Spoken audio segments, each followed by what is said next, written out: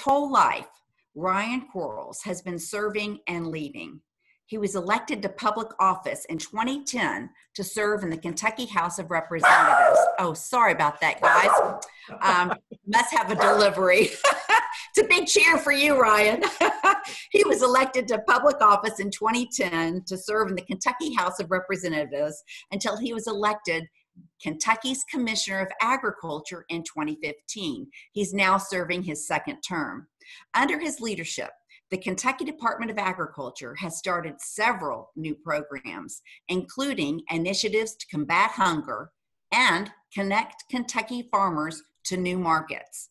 He supported the expansion of Kentucky's diverse agriculture portfolio to include industrial kenaf, hops, and hemp, leading to the historic rise of Kentucky's industrial hemp program. Due to his Kentucky Hunger Initiative, Kentucky now has the strongest food donation immunity law in the nation. He continues to find bold solutions and opportunities for farmers to grow and expand domestic and international trade. On the national level, he served on the National Association of State Departments of Agriculture and serves on President Trump's Agriculture Advisory Team. Commissioner Ryan is a ninth generation farmer growing up on his family's farm in Scott County. He's wicked smart. Um, he's graduated from the University of Kentucky with three undergraduate majors and two graduate degrees. In 2008, he was awarded a full scholarship to attend Harvard University. And after graduating with a master's degree in higher ed, he returned home to finish his last year of law school at the University of Kentucky. And he also completed his doctorate at Vanderbilt University. So please join me in welcoming my friend and yours, Commissioner Dr. Ryan Quarles. Ryan? Thank you so much. And uh, it's an honor to be here today. You know, usually this is when I say thank you to those who not only prepared our meals, but the farmers that grew it as well. And uh, I hope, as much as you do, that we're back in person uh, to do this again in the very near future. But today, uh, I'm honored to be back with you. I want to talk about a couple things that are Louisville specific, and then talk about food insecurity and the Hunger Initiative. And so I'm going to make sure we have plenty of time for questions at the end.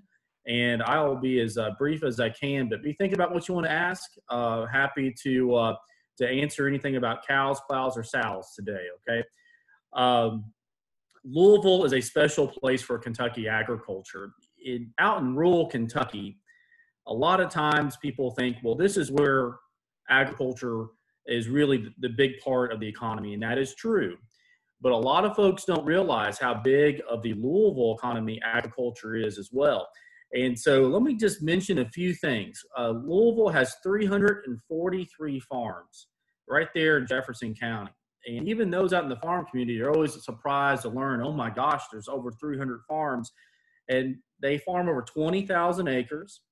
Uh, most of it is cropland, but about one fifth of Louisville's uh, farmland is devoted to uh, animal agriculture, livestock, etc. And here's probably one of the coolest things: uh, on those 340 or so farms, Louisville farmers bring in over 6.3 million dollars uh, in direct cash receipts off those farms to the Louisville economy, and, and that's bigger than some of the smaller rural counties. So just put that in perspective. And here's perhaps the coolest statistic that we found about Jefferson County agriculture. There are 594 farmers. Now, some of those admittedly are part-time farmers, but nonetheless, they're out there working, they're rolling their sleeves up. But of those 594 farmers, 234 of them are female, which makes 40% of all the farmers in Jefferson County female, which is one of the highest in not only Kentucky, but highest in the nation. And it's reflecting the trend that a once male dominated occupation is actually, uh, there in Louisville, 40% female, and that's a good thing. And that's a good thing. And so things are changing down the farm, and Louisville has a special place because have any of you all raise your hand if you ever been on a Farmall tractor or seen an old Farmall tractor? This is about as idyllic of an antique tractor you can think of Well, guess what? They were made in Louisville. The Farmall A's and B, the little Cub tractors. A lot of people forget that that Louisville was a tractor producing um, city all the way up through uh, post World War II. Louisville is also home to three of Kentucky's and United States signature agriculture events. Uh, number one is the National Farm Machinery Show. Every every February, and we were able to do it this year before COVID, uh, the pandemic shut down the rest of uh, our economy. But we have what is the equivalent of the Detroit Auto Show for tractors right there in Louisville. 300,000 people come to the fairgrounds to see what's latest and greatest about John Deere or Case New Holland. And it's always during Valentine's Day. And so if you ever want to, if you ever want to have a romantic uh, getaway with your special loved one, go look at tractors in downtown Louisville uh, with your with your partner. It'll be a very romantic evening for you watching a tractor pull. Uh, another signature event that we have in November, and we're still going to have this. We're going to pull this off. Is the North American International Livestock Exposition. This is the biggest purebred livestock show in the world. In the world. And in fact, it usually brings people in from all around the globe because it's where they're it's where they're uh, buying and selling genetics. Uh, they're trying to improve herds, and we export cattle as far away as the Sudan every single year. And a lot of it has to do with Louisville, Kentucky. And finally, the Kentucky State Fair. And I know that a few of us were talking about this before we kicked off the meeting, but the Kentucky State Fair is usually in the top three in the nation. 600,000 people come by on a normal year. Uh, if you ever attend the Kentucky State Fair and you walk away hungry, that is your own fault because you can find bizarre foods from all across Kentucky there. Um, if in doubt, just deep fry it. And it really is a big deal for rural Kentucky because you have a lot of 4 H and FFA members uh, come to Louisville once a year. And, and, for a lot of those kids, it might be their first time in your town. And it's always a big, not only tourist attraction, but it's an economic driver for the Louisville area.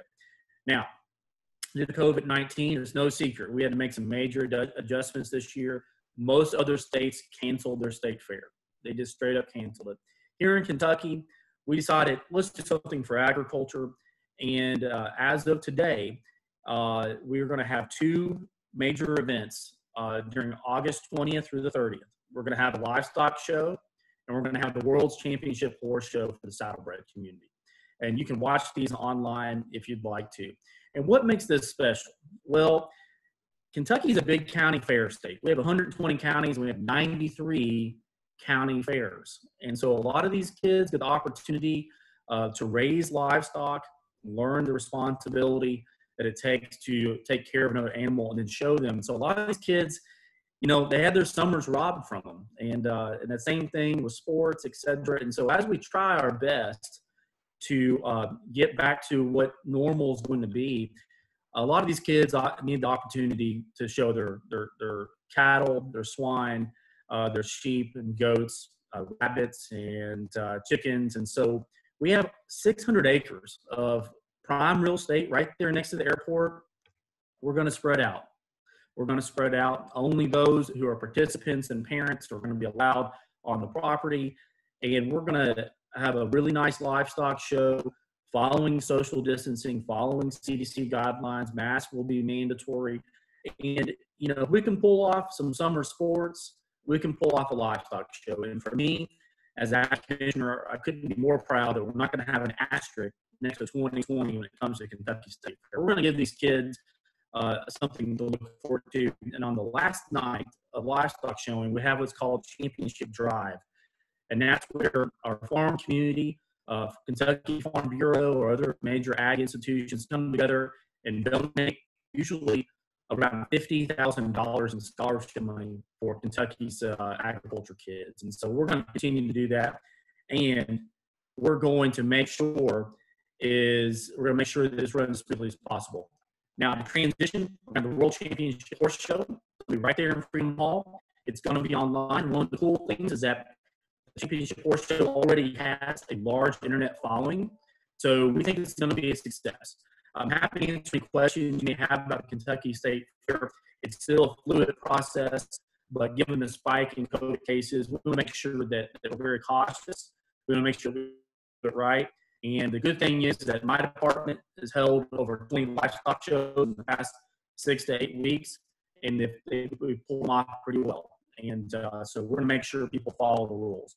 But it's going to be a different state fair. I wish I could say, come on out, but this is the year we're going to say, stay at home, get your internet fired up, and uh, help support these kids. Now, I'm going to transition and talk about food insecurity. And there's a lot of different things here uh, that I'd like to, I'd like to cover. So please uh, have some questions ready.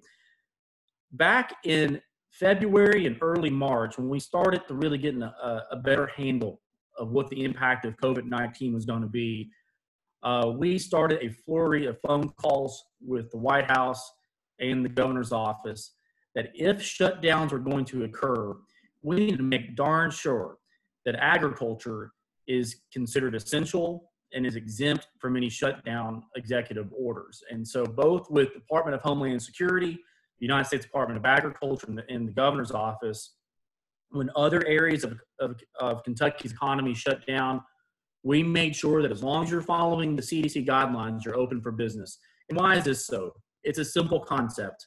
If you like to eat, you are part of the agriculture economy and less than 2% of the population feeds the rest of America. And so it was so vitally important that our farmers had the ability to get out in the fields. A lot, March is a planting month, April is a planting month, to make sure that they're able to be unencumbered, get out in the fields, put the crops in the ground, and keep our livestock markets open so that people can be fed. You know, my my hat is off, my heart is out to our frontline workers. Every single day, they're on the front lines, keeping us safe and helping us through this global pandemic. But it's our farmers who are going to keep us fed. And if you look throughout the course of human history, whether it's economic collapse, natural disasters, armed conflict, et cetera, et cetera, a lot of times, whenever you have big events like that, big disruptions, famine follows um, natural disasters or global pandemics. And so we are determined that here in the United States that no person goes hungry, that we have the safest, most abundant food supply system in the world. And we want to make sure that every Kentuckian, regardless of where you're at, community, county, or city, knows that if you need a little bit of extra help putting food on your table, don't hesitate to reach out. And so one of the first things that we did was work with JCPS, as well as the Kentucky Department of Education to get a waiver uh, from the federal government so that our kids, our school kids, had access to free and reduced lunch and breakfasts. Um, and this was one of the big wins. Kentucky is one of the first states to get this eligibility. We're really proud of our partnership with JCPS, as well as our other public schools across the state, so that our cafeteria workers, our food service directors, uh, had the ability to legally hand out food to a parent they maybe come by and drop it off, drop up, drop off homework and pick up meals. And that was a big deal for us. Another thing that we did in rural Kentucky is that a lot of our school bus drivers, instead of driving the routes to pick up and drop off kids throughout the day, turned those bus routes into food drop-off points, so that the the fact that one in five Kentucky school children are food insecure, and in some of our counties, 100% of the students qualify for free and reduced lunch. We want to make sure they knew that they had access to breakfast and school lunch throughout the remaining of the school year. And so that was a pretty big success for us. We're proud to work with our educators on that. And then the transition to the summer months, we have what's called summer feeding. And Louisville is actually one, one of the gold star uh, uh, exemplars when it comes to how to help uh, have food access throughout the summer months. And so we worked once again for school systems there's over 2,000 summer feeding sites throughout Kentucky. And so for our school kids that, that are learning at home and then had a summer uh, of, uh, you know, reduced activities, and maybe that, maybe that camp that they were supposed to go to was canceled, we once again made sure that we had food available for them. And we spent a lot of time in Louisville passing out meals. We actually had Farm Credit of Mid-America, which is based right there in Louisville, as well as CoBank donate money to renovate about a dozen school buses into what's called summer feeding buses. And so we took the seats out and put cafeteria tables on the inside. We put uh, uh, refrigerators inside these buses. And so they're making routes across Louisville as we speak today, delivering meals. And as we transition into the fall, uh, with what looks like it's going to be a delayed um, in-person learning. We want to make sure we have a flexible a flexibility to make sure we provide meals for our kids. And and food insecurity is big. One in seven Kentuckians are food insecure. And what does that definition mean? It means that at some point throughout the year, you may not have access or may not be able to afford a meal uh, for your for you or your family. And food insecurity affects two populations more than others. Number one, it affects children. It affects children uh, because obviously they're not the ones going to the grocery store, or sadly, they're not the ones going to the convenience store uh, to go grocery shopping. And secondly, it affects the elderly. Uh, and, and one reason why is that there's a stigma involved with food insecurity. A lot of times people are unwilling to admit, I can't afford food. I have to make that choice between medicine or food, et cetera, et cetera. But here in Kentucky, we're doing a pretty darn good job of making sure that even during global pandemic, people have to make those choices. We want to keep you fed. And so one thing we started back in 2016 during my very first year in office was called the Kentucky Hunger Initiative. And this was a simple concept. Connect Kentucky's farmers with our food banks and strengthen those relationships. And over the course of three years or so, we changed Kentucky's law. We now have the strongest food donation law in the country. And, and why do we need this legal change? Well, we found out that there were some grocery stores in Kentucky that were actually throwing food away in a dumpster because they were afraid of lawsuits. That, hey, we want to donate this food, but we're afraid someone might sue us. And so for us, the, the, the safest thing to do is just throw this food away. And we said, don't do that. We're going to change Kentucky's law and now we, we have the strongest food donation law in Kentucky. And these grocery stores that once were throwing this food in the dumpster are now safely providing it to our food banks. And Dare to Care, by the way, Brian Riendeau and the crew out there, Dare to Care, amazing. They're doing things in Louisville that, that they're pulling off there they can't do in other parts of the state. I went through a couple of their facilities earlier uh, in July. A great, great organization. Please help them out. Another thing that we did with the Hunger Initiative is that we have a great Kentucky Proud program. I know we have a couple. Uh, we have Mikey on with today, who's a farmer himself. Hopefully, you all visit our farmers markets. They are open for business during the pandemic. We have 160 plus of those in 115 counties. And we consider our farmers markets no different than grocery stores. And so we have social distancing rules in place. We had over $13 million in farmers market sales in 2019. And guess what? we know the sales are going to be way up in 2020 because a lot of Kentuckians, including myself, we're spending a little bit more time in our kitchens and cooking. Uh, I'm eating off my backyard garden. A lot of Kentuckians um, who may not go to restaurants because they're shut down or reduced capacity are actually cooking again once in their kitchen. So why not buy Kentucky Proud? And so we think that 2020 is going to be a really signature year for local agriculture and buy local because Louisville is also known as a food des- destination city. All you have to do is go, go up and down Shelbyville Road, Bardstown Road, and see wonderful restaurants that are buying local, they're supporting local farmers, and they're putting it right there on the menu, the Kentucky Proud symbol, which is so powerful. And so for us, the silver lining of COVID 19 has been a greater appreciation for Kentucky farmers. And secondly, uh, support for local agriculture. And we, we hope that buying Kentucky Proud is not a fad. We think we hope that it's something that's permanent. And so hopefully we have some Kentuckians out there that that are making the most of this pandemic, spending a little bit more time at home and buying Kentucky Proud. But one one of the things that that really put some stress uh, on us was our meat shortages. Go back go back to April. Remember when you went to uh, the grocery store and you couldn't find toilet paper? or um, or paper towels now, or perhaps there may not have been a, a fully stocked meat shelf. Well, the food supply system in America is very sophisticated. It's very sophisticated, but we're not without our weaknesses. And so when some of these Midwestern based meat processors had COVID outbreaks, the plant shut down.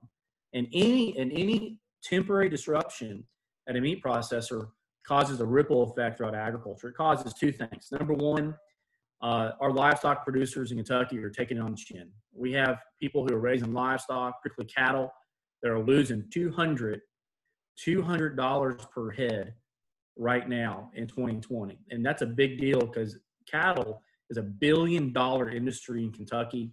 38,000 uh, Kentucky cattle farmers. We're the biggest beef cattle state East Mississippi. So there was tremendous loss on uh, Kentucky's farm so far in the livestock industry. But the second thing it does is that it causes short-term uh, supply disruptions to our grocery stores. So back in April, back in May, uh, perhaps early June, if you went and say bought ground beef, you saw that the price significantly was higher.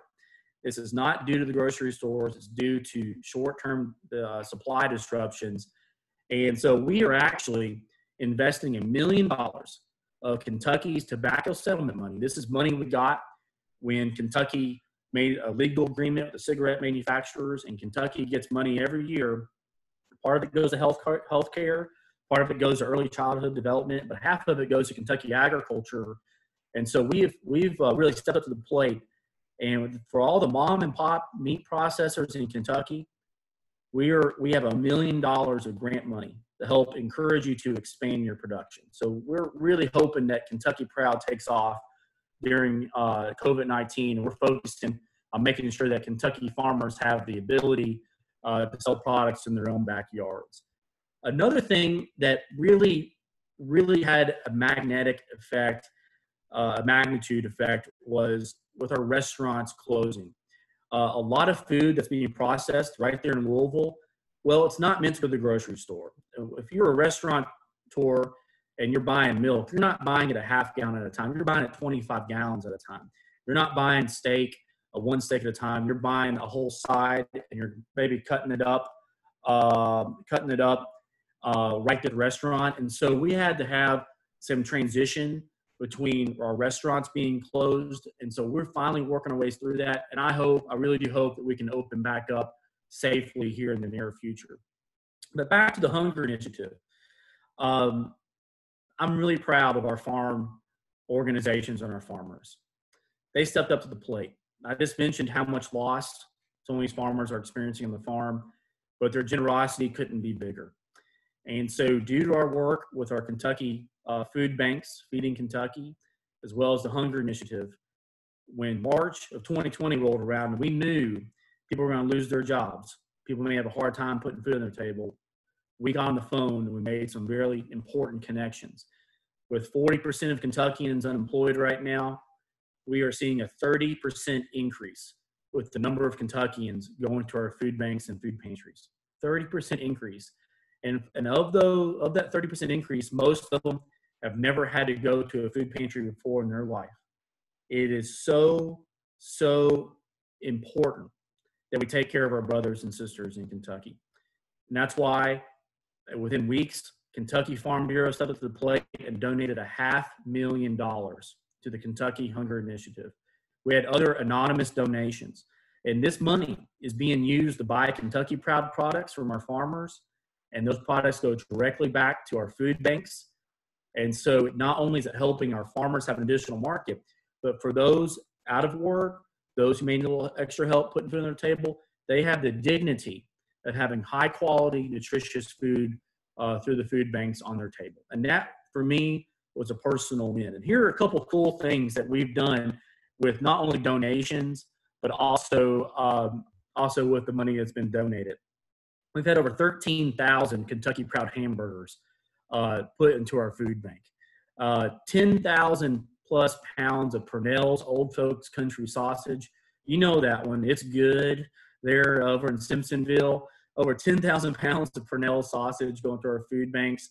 Uh, we've also had uh, over 100,000 slices of cheese, over 560,000 eggs, two semi trucks worth of eggs completely donated at no cost to our food banks. Uh, poultry is our number one our number one uh, ag commodity in Kentucky. And so we're really happy with that. Tomorrow, I'm to be on the road. Uh, we've had 56 chest freezers donated. A lot of our food banks don't have freezer space. And so I'm to be on the road in Eastern Kentucky donating and delivering uh, freezers tomorrow. And so this has been an opportunity to showcase Kentucky's generosity uh, during a, a once in three generation global pandemic. And we want to make sure that the message is clear once again that if people that you know may have a little trouble getting food on their table, call your local food pantry, call your local food bank. I know that uh, the Rotary Club uh, cares and is in part uh, part of the solution here. And so we're going to make sure we take care of those less fortunate. Now, moving forward, what have we learned in 2020? Well, first off, uh, you never know what's going to happen tomorrow. You know, two weeks ago, I got a phone call from a, a, lady I know in my hometown said, I've got some seeds in the mail from China that I didn't order. And I was like, oh gosh, I know exactly what this is because we had heard about this in Washington State, we heard about it in Utah, in Virginia. And so I spent a Sunday afternoon picking up seeds from China. We didn't know what they are. And turns out, as of today, over 30 states have had unsolicited seeds sent to residents, to people who did not order them. And so one thing we learned in 2020 is kind of like one of those infomercials late at night when you're watching cable TV. They're trying to sell you that knife set that you really don't need, but you kind of want. And the guy gets on and says, But wait, there's more. That's what happens every single day in 2020. But wait, there's more. And so for the, the foreign seed issue, we've had over 500 Kentuckians uh, report foreign seeds. We think we think it's harmless. We think it's an internet scheme. But if you ever seen kudzu in eastern Kentucky, or if you ever heard about Asian carp in western Kentucky lakes, uh, we don't need to introduce new species, unknown species to our environment. We, we want to keep our environment geared towards conservation and agriculture. And so every day there's something different going on. But I think the biggest lesson learned in COVID 19 for us, particularly in rural Kentucky, is the absolute necessity of high speed broadband internet. And with a lot of kids learning from home, even right there in downtown Louisville, not everyone has access to internet or internet that, that you can conduct business on or learn from home on. It is time for Kentucky to make the strategic investments into making sure that high speed broadband internet is available to anybody, whether you're in an urban area or out the end of a dusty road somewhere in rural Kentucky. We have to have it. And so we are working hard to help push for this. Uh, there are some CARES Act funding, there's some USDA funding. And so we're working with uh, others across the state to make sure that we advocate that this is something that we need, especially if kids are going to be learning from home. We also want to make sure that kids have access to food this fall. If kids don't have access to nutritious breakfast or lunch, the last thing in their mind is learning. And, and look, our education system, they got some tough choices ahead of them. They have some tough choices ahead of them.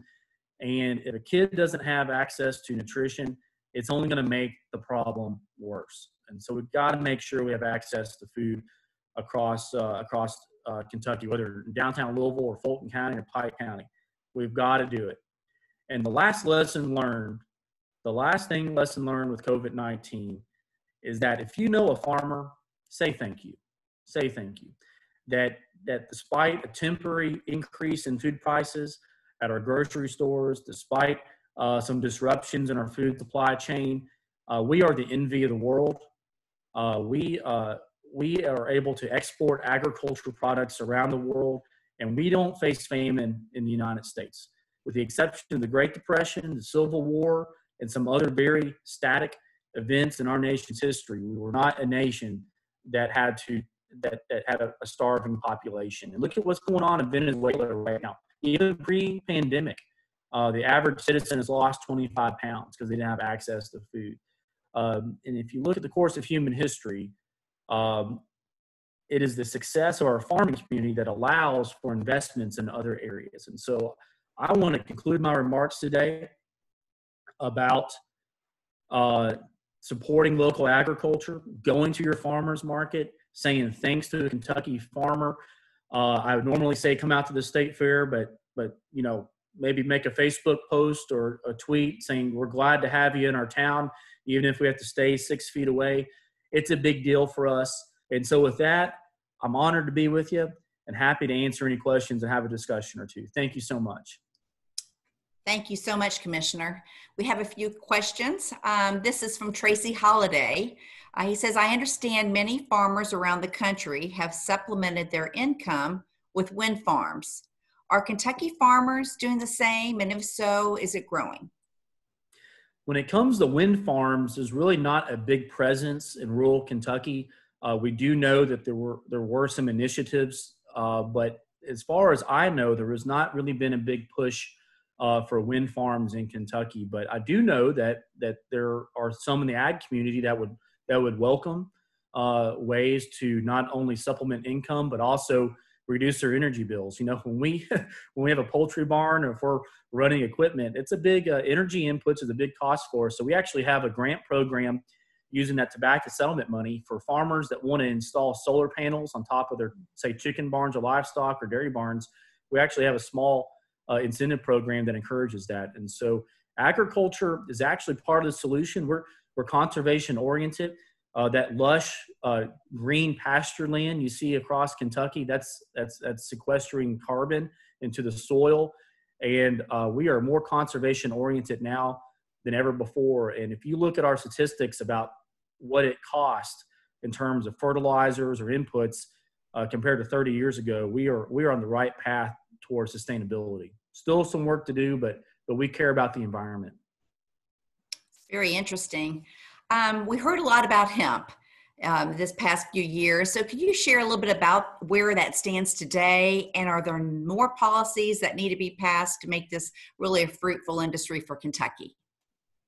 The story of hemp is one as as, as old as Kentucky itself. Uh, it, I just finished writing a, a, legal journal article about this, and we kind of cover the history. It's been around Kentucky for well over 200 years, and, and the history of hemp is up and down, up and down and for the past 70 years, since World War II, when, when my grandfather grew hemp for the US Navy, it's been illegal to grow. And so 2014 all the way to 2018 was an experimental process. Uh, there's a lot of curiosity about this crop. Kentucky is a natural home for hemp and hemp processing. And so there's a lot of promise. And then in 2018, with the passage of the, the newest farm bill, uh, and our, our, strong congressional delegation, which pushed for this, uh, hemp was once again legal in America. However, in 2019, with it being legal across the United States, uh, production soared. And unfortunately, uh, for a lot of folks uh, in the hemp industry, uh, we're really good at growing crops in Kentucky. Mm-hmm. But our production capacity was not able to meet the supply capacity. So 2019 was somewhat of a mixed bag. Mm-hmm. There are some uh, con- contractions in the market, and there were some processors uh, that got their their kind of uh, head over over their toes, and they were, uh, got themselves in some financial situations that were regrettable. However, in 2020, uh, we will have hemp in Kentucky. we expect there to be about 5,000 acres grown this year. Uh, uh, about 500 farmers will be growing this. Many of those farmers, it's a first time experience. And so, one thing that we tell everybody ever since uh, day one serving as ag commissioner is be cautious, start small. There's still a lot that needs to be figured out about this crop. We need guidance from the FDA. The FDA uh, has been a little bit slow, in my opinion, with helping us out with determining what products can be on the shelves. Uh, we've had some other glitches in the system that we're working through. But I do believe there will be a long term hemp market in Kentucky. Uh, 2019 was a breakout year, but it was also a year that a lot of folks uh, uh, were not able to cover their production expenses. And so uh, we're working with them on an individual manner. But we think that long term there will be a hemp market in Kentucky. Um, but we still have a lot of things we got to work out, including the FDA, which, which again, uh, hemp has been legal in America uh, for several years now. It's time for them to give us clarification on what can be legally sold. But I think there's great potential uh, with the nutraceutical and, and perhaps what we think are some healthcare benefits from hemp. And so we're going to keep pushing forward. It may not be a crop for everybody, but again, uh, it's one that attracts a lot of attention and a lot of curiosity. Yes. Um, is there some research happening here in Kentucky uh, tied with that at UK or U of L or? Yeah, we were fortunate that uh, Leader McConnell actually was able to get uh, significant funding uh, for some hemp research centers, uh, not just in Kentucky but other states. But but we expect our research to continue to move forward, not only on the production side but also on the material side. I mean, imagine imagine the day we're a big manufacturing state. Uh, you know, the only sector of our economy that's bigger than agriculture is manufacturing. Imagine the day when when our our farm economy is saying using kenaf or using hemp or other crops growing sustainable green products that could go into car parts, etc. Mm-hmm. Uh, we know that hemp's being used in concrete. Uh, it was used in a bridge repair uh, two summers ago. And so we hope that there's more emphasis on the fiber and seed side of hemp. There's, there's been, we've been so dominated on the CBD side, but it's important to know that uh, despite some uh, market corrections, we're going to continue with the research and U of L is participating in this as well as UK. All right. So stay tuned, it sounds like. Yes. Um, many years ago, I guess it, part of the tobacco settlement time, there was a real emphasis on farmers diversifying their crops, and we saw the wine industry really um, accelerate here. Can you touch on that? Yeah, our wine industry, uh, again, just like hemp, there was a period where it was actually not legal to have a farm winery after World War II. And a lot of it goes back to prohibition esque uh, policies. But today we have around 70 farm wineries across Kentucky. They are a tourist attraction. And one of the cool things is that we're a big bourbon state. Uh, people come to come to Kentucky to experience our horses, our bourbon, and now they're adding an extra day for our wine too. We actually hmm. have a guy on our staff who I think has the best job in state government. He's the state winemaker. That is his job and he actually has a certification that only about 300 people in the world have. And he's out there working with our with our viticulturalists and our, our wine producers to, to try to push us up into the next level. And for those of you all who may be history buffs uh, kentucky is actually the second biggest wine producing state in the country until world war ii and kentucky is actually home to the oldest commercial vineyard in our country in the United States, uh, down in the Jessamine, Fayette County line. A lot of folks don't realize that, but uh, we have a long way to go. But the cool thing is that we're working with the bourbon industry. Uh, and so whenever we can open back up and welcome people back into our state in a meaningful, meaningful way, it's going to be part of our agritourism network. So there was some uh, some um, passage of you could actually buy the product at the places. Does that also uh, go with the wine industry as well? I'd have to check on that. No, there's a lot of different laws when it comes to alcohol in Kentucky, but uh-huh. but we want to make it as uh, farmer friendly as possible. Yeah. And if it comes to you know to direct shipments and uh, tastings, et cetera, we want to make sure that our farmers have the same ability to do that. Right. Uh, Rotarians, if anyone else has a question, if you at the bottom of your um, screen there, there's a place where you can type something in, or if you just want to unmute and ask Commissioner Quarles yourself, we welcome you to do that. Um, just, I could go on and on with my own questions. Anybody else have questions for him? Ryan, it's uh, Mac McClure. And I was wondering, uh, AppHarvest and some of the other large new greenhouse ventures, along with some people from Holland, Mm-hmm. What's that going to look like, and what kind of dollar amounts are we looking at as far as crop production? Yeah, so Kentucky has about four large scale greenhouses, which are either under construction or planned to be constructed. And if you ever get a chance to uh, travel to Europe, uh, particularly the Netherlands, which is, you know, the Netherlands is a relatively small country, but they're the biggest exporter of ag goods in Europe. A lot of it's a lot of the food's being grown underneath glass with greenhouses. And so AppHarvest, uh, they've been around for some time. I've actually been working with App Harvest since 2017. They originally were looking at Pike County, and I remember Governor Patton, myself, and Jonathan Webb driving up on top of some reclaimed coal mine land, looking at potential sites. Uh, we've been working on this for years, but they eventually called Morehead home to their first facility. It is a 60 acre greenhouse. And for hmm. those of you who don't know how big of an acre is, it's about the size of a football field. So imagine 60 of those lined up, connected.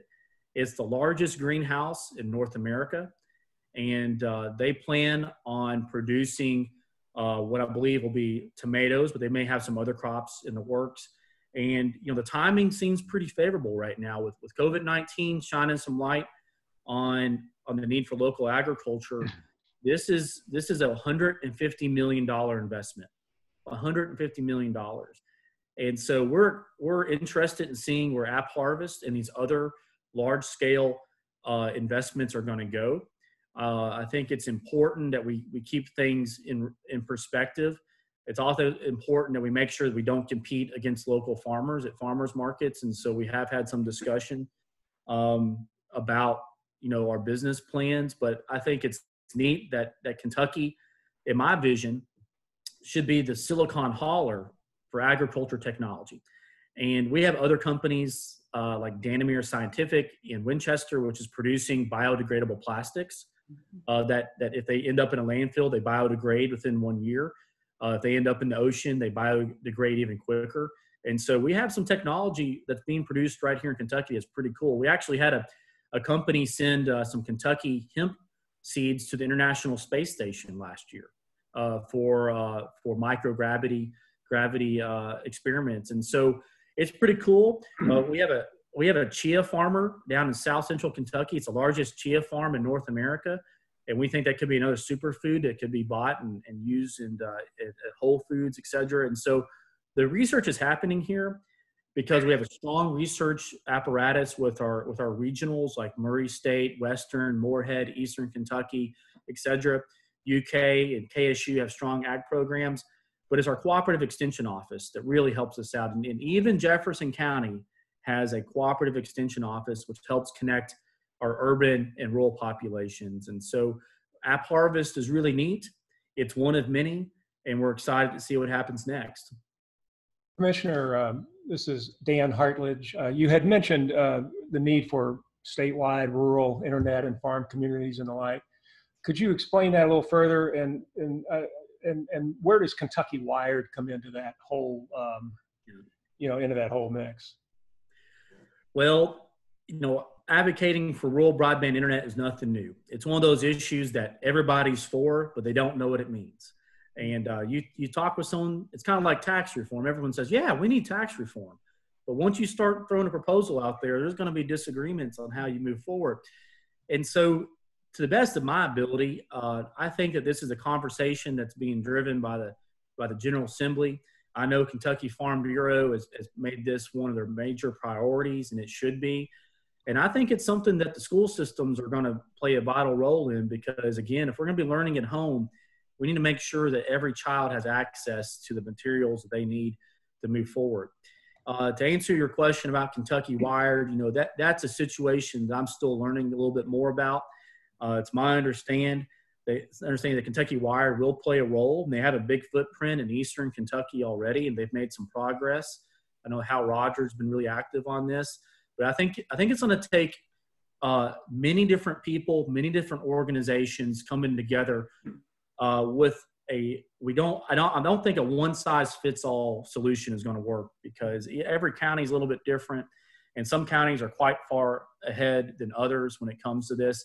But at the end of the day, we need to treat access to broadband internet the same way our grandparents treated electricity back in the 30s and 40s is that we got to electrify Kentucky uh, in a very similar way, and uh, time time is now to do it. Uh, Kevin Lynch. Uh, wondering what percentage of the uh, workforce is uh, of the farm workforce is in corporate farms as opposed to family farms. The same question about acreage, both the. U.S. and Kentucky, if you have it, and also I could see clear differences, but where does where does it sort of where's the line drawn between what's corporate and what's a family farm? I'm glad to get a great Jeopardy question today. And uh, the answer is uh, what is 95%? 95% of our farms are family owned. Family owned. So the corporate, the corporate agriculture presence is actually quite small in Kentucky. We're a small family farm state. Our average farm size is only about 170 acres, whereas the national farm size is almost 500. And so for Kentucky, uh, we do have the large farms uh, once you get past E-Town. But we're we're a small family farm state, and that's what makes me so proud that we got everything from apples to zucchinis and everything in between. And when you look at our acreage, I believe the acreage will probably come down about the same uh, markdown when it comes to what's corporate versus what's what's family owned. And, and and one of the neat things is that uh, our family farms, we have seventy six thousand of them in Kentucky those are 76,000 small businesses. And it's so important that you look at farms as small businesses because that's what they are. And they employ people. We employ 200,000 people across our state. Again, the manufacturing sector is the only sector of Kentucky's economy that, that employs more people, and that's like the Toyotas, the Fords, the GMs, etc. On the national scale, I think I'd have to brush up on my statistics a little bit more. Uh, I, obviously, Kentucky has a higher percentage of family-owned versus corporate in the country, but I really couldn't give you that answer off top of my head. But but I think it's a good thing that our family farmers are are the ones that give us our diversity and variety in Kentucky agriculture. And if you ever want to uh, see that, go to a farmer's market on Saturday morning. They're more than happy to tell you their story. Mr. Secretary, it's Larry Sloan, and uh, I'm uh, asking a question along those same lines. What percentage would you say of the available good farmland in Kentucky is lying fallow? I'm just curious as to what the potential growth could be for our agricultural output. Great question. So Kentucky has about 24 million acres. Um, half of that acreage is in trees, and the other half is in is in farmland. And and so we're a, we're a rolling rolling hill state. You know, we're yet to get out to Western Kentucky to really see the flat stuff. And so when you talk about what's laying fallow, that really is kind of a double-edged term because to me, uh, a lot of that land may be in hay production, but it may not be in high quality hay production. And so uh, it is being harvested uh, for livestock feed, but but instead of it being grass hay, maybe make the investment and make it clover or alfalfa hay. We get a, a higher premium. And that's one thing our farm has done. We've actually converted some of our tobacco land into alfalfa production that sells straight to the horse industry because we know we're going to have a strong buyer at the end of the day. But to answer your question, um, if you ever get a chance to go to Japan, uh, they'll have rice paddies right next to a skyscraper. We have a lot of land in America, but we also need to make sure that we're conservation oriented. And one one thing that is affecting, I think, central Kentucky a little bit more than other areas is our, our prime farmland is being gobbled up by developers. And there's nothing wrong with that. But sometimes you need to stop and think about what the long term effect is of uh, high quality, high producing land in Kentucky. But the good thing is this whether you own one acre or a thousand acres, uh, it doesn't take a lot of land to grow some food. And so there, we do have programs that help particularly younger farmers transition into agriculture. Uh, you have a young man on your program today that has about 27 acres, and if you're if you're growing organics, that's plenty of land. And so uh, we want to put that land in, into productive use, or if it's laying fallow, make sure that it's being used for conservation practices. And, and I know time is of the essence. I want to I want to mention one last statistic that I want to uh, drop on you all here at the end. Forty percent of Louisville's farmers are age 65 or older. Mm. Forty mm. percent, and and that's retirement age. That's the average age. And so we have got to get young folks interested in not just the production of agriculture, but also the new cool companies that we need to have to make sure that with a rising global population, we're about 7.8 billion people on earth right now. We're going to hit 9.5 billion uh, here in about two decades. We've got to increase our food production while also being mindful of the environment.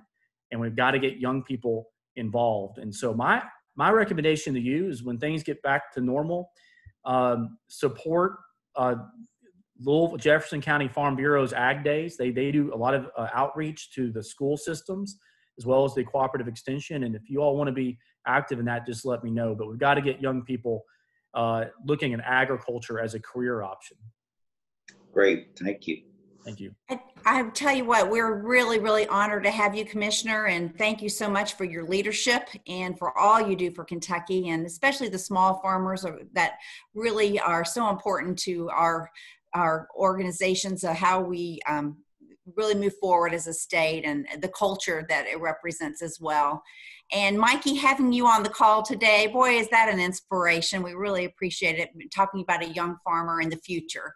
So, um, with the time being what it is, we're going to call this meeting adjourned and thank everyone so very much. Um, those that are interested in learning more about Rotary, please stay on the call and we'll have our What is Rotary session immediately following. Thank you. Thank you.